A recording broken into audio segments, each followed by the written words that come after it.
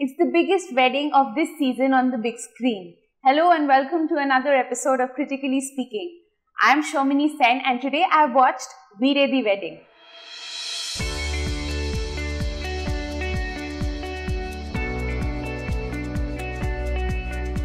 Now Kalindi, played by Kareena Kapoor, is all set to get married to her boyfriend Rishabh, played by Sumit Vyas. As they both land in Delhi for the big fat Punjabi wedding, Kalindi's best friends, Avni, Sakshi and Meera come to celebrate their Veere's wedding. Over the course of the wedding, issues, problems stumble out and then one realizes that how these four women are deeply flawed. Now what works for the film? Definitely the four actresses who play the four best friends on screen.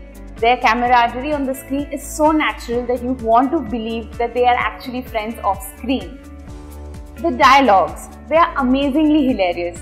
They are funny, they are witty, and a little crass, but nevertheless very enjoyable. Now, the casting is absolutely perfect. All the actors, including the leading ladies, Swara Bhasker, Sonam Kapoor, Kareena Kapoor, and Shikha Talsania, are perfectly matched for their respective roles. The men in the film ably support the women. Your heart goes out to Sumit Vyas, who plays the groom in the film. His role is almost an extension of what he has played in Permanent Roommates, yet it's an endearing act.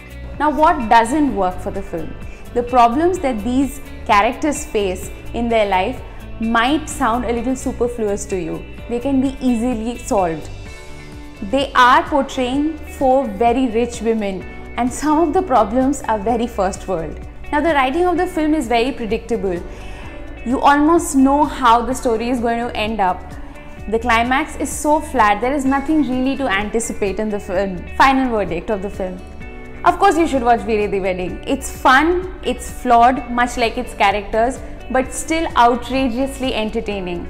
The film should also be celebrated for the simple fact that very few films are made in Bollywood which celebrate women and their friendship.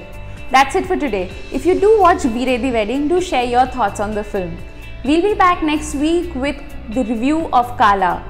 Rajnikant's big film this season has to be watched and has to be discussed. See you then.